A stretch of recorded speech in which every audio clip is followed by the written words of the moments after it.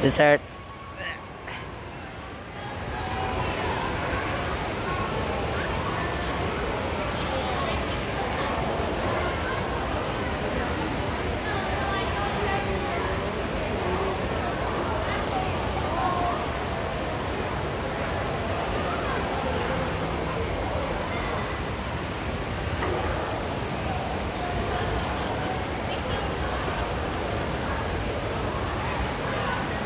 I'm just going to walk by bouncing and by the way I'm scared of heights so I'm in hell right now